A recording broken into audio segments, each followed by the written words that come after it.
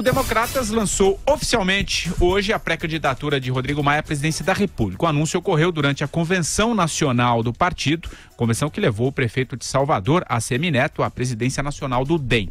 O evento contou com a participação de várias legendas que formam a base aliada do governo Temer. Integrantes do PP, PR e Solidariedade sinalizaram apoio ao parlamentar. O presidente do MDB, Romero Jucá, também compareceu, discursou por três minutos e foi embora. Agora, os discursos mais esperados da tarde foram de ACM e de Rodrigo Maia. O primeiro afirmou que o DEM estava sendo refundado a partir desta quinta e disse que a legenda criaria um projeto para debater as imperfeições do Estado brasileiro. O segundo, Rodrigo Maia, declarou que fará uma campanha sem populismo e sem o antagonismo atrasado entre a direita e a esquerda. Disse também que fará um pacto aí contra a velha política. Solta um trechinho bem curtinho do que diz Rodrigo Maio, e do Rodrigo Maio eu já passo aqui para os nossos debatedores. Vai lá, Reginaldo. Assumo o desafio, assumo o desafio de construir com o povo brasileiro um pacto para rompermos o que há de velho e atrasado na política brasileira. Assumo o desafio de renovar o Estado brasileiro, de combater a burocracia atrasada, o corporativismo e a ineficiência do nosso Estado. Assumo o desafio de diminuir despesas, de fazer um verdadeiro ajuste fiscal e aqui faço um parêntese para aqueles que acham que eu não tenho coragem. Nós precisamos acabar com as distorções que existem no nosso país. Bom, Vera, o Maia falando em renovação, rompimento com a velha política, mas eu disse aqui, estava lá o velho Centrão, enfim, o que, que, você fala? Você que já disse que não acredita muito nessa, nessa candidatura de Maia, mas enfim, que você acompanhou tudo, vai lá. Vamos lá, Patrick, refundação do DEM, né? O DEM já é uma refundação. oh, uma interruption no Dia Internacional da Mulher.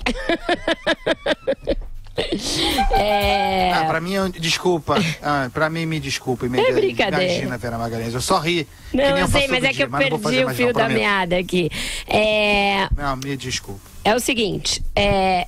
Refundação do DEM, né? O DEM já é uma refundação do PFL, que por sua vez é uma refundação da Arena, Patrick.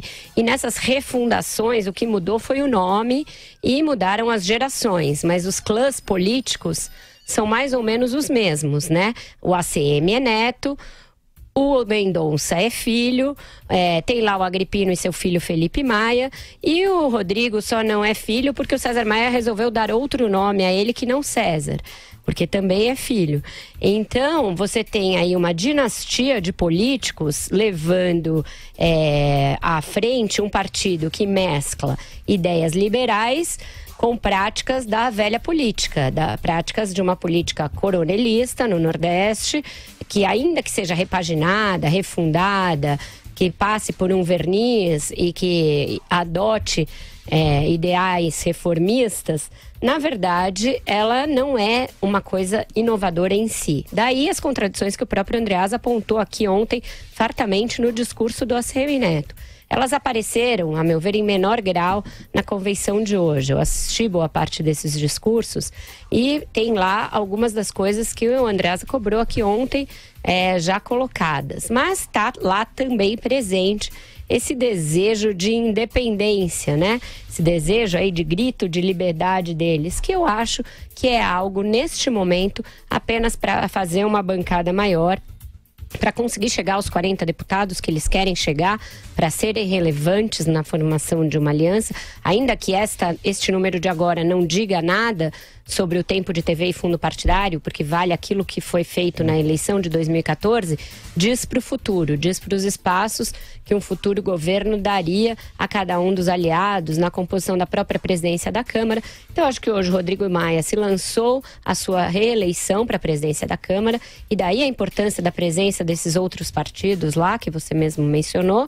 E é, o partido está se lançando a ser um aliado importante, a ser o aliado fundamental de Geraldo Alckmin. Mendonça Filho, que é do Nordeste, é ministro da Educação, é um nome posto para essa vaga de vice na chapa do, do Geraldo Alckmin. Então, o xadrez é mais ou menos este, né? É uma renovação, refundação com as velhas é, famílias de sempre. O Andreazá, você confidenciou aqui pra gente nos bastidores que adorou o discurso, né, do, do Maia e do ACM Neto, é isso mesmo? Estão em grande forma, né? Que dupla! E de repente, né, Patrick Santos? De repente a dupla se formou. É, deve, deve derivar de uma longa costura. Mas a erupção da dupla Rodrigo Maia e ACM Neto é algo espantoso no cenário, inclusive porque vem com esse discurso de novo, né? Nesse evento, partidos como o PP, do notório Ciro Nogueira, e Solidariedade do Paulinho da Força estavam pleiteando o novo. E mais, pleiteando o novo é, e vendo o novo em Rodrigo Maia do DEM, refundado DEM, nessa história a que a Vera fez referência. Um partido, quando se refunda, é porque jamais chegou à fundação. Essa que é a verdade. Só falta, só falta mudar o, novo pra no, o nome para Novo DEM né? É um caminho natural. Eu, vendo os discursos, eu também assisti penosamente esse evento. Como fala mal, como o Rodrigo Maia fala mal. E, e com aquele dedinho, hein? Que coisa espantosa. Mas vendo o, o, o evento, aquelas pessoas atrás, ficou claro para mim, e aí falando de verdade, sem brincadeira de política, que aqueles representantes de outros partidos estavam lá não em apoio ao Rodrigo Maia e ao DEM, mas é, em solidariedade a eles. Né? Tal o grau de irrealidade desse evento de hoje. Ninguém leva a sério a candidatura do DEM. Nem o próprio DEM. É o lançamento evidente de um balão de ensaio. Mas há limites para se lançar balão de ensaio. Eu tenho falado sobre isso aqui. O principal deles é que não estoure, né? que, não, que, não, que não disso não decorra ferimentos e feridos. Lançar a candidatura do Rodrigo Maia é uma extravagância muito grande. O DEM, não, o DEM é um partido que não tem governador.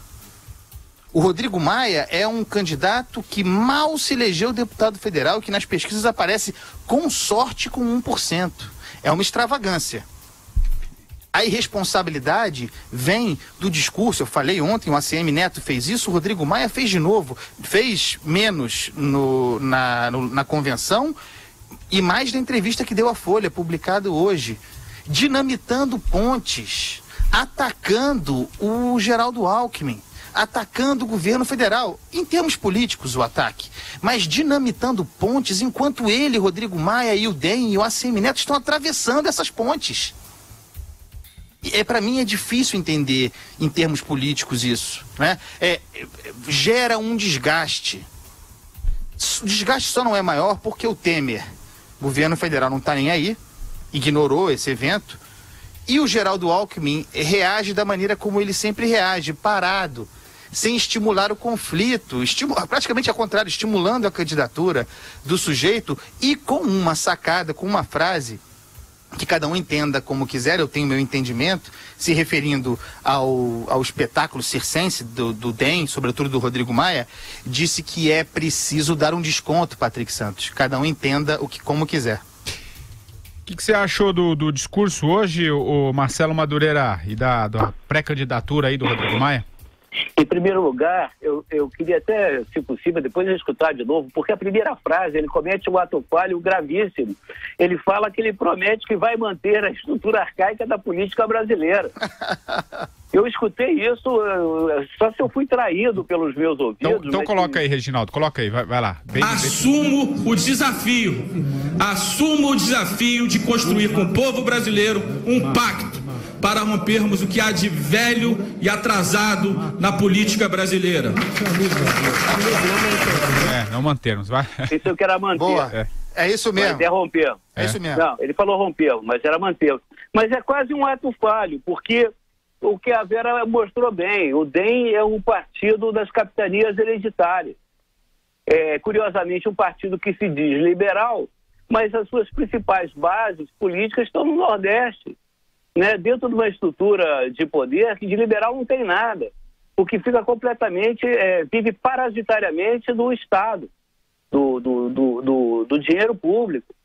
Então, esse partido DEM, que foi derivado do PFL, talvez o PFL tivesse matizes mais liberais que o DEM.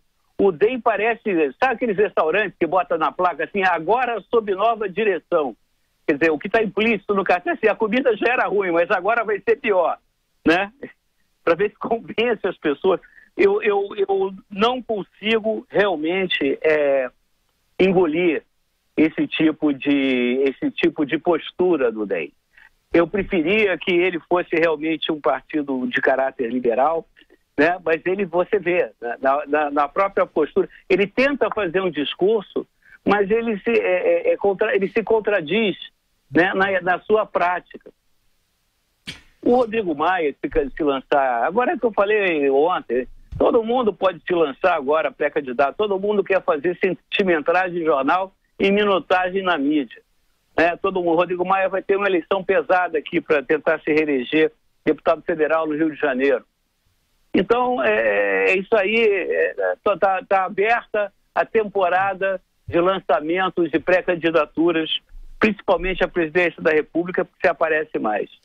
Eu acho que é isso. Tem uma coisa que eu acho relevante no discurso do Rodrigo Maia importante, porque acho que, por enquanto, ele foi quem teve a coragem de defender explicitamente a reforma da Previdência como uma necessidade, se comprometeu como pré-candidato, ainda que essa pré-candidatura seja fake, a fazer a reforma da Previdência. Eu acho que isso é importante porque quando e se ele fechar um acordo com o Geraldo Alckmin, ele leva essa pauta e faz com que o Alckmin fale de uma maneira mais aberta e mais enfática a esse respeito, a respeito dessa necessidade, porque o PSDB tem sido muito tico-tico no fubá em relação a uma matéria com a qual não se pode tergiversar.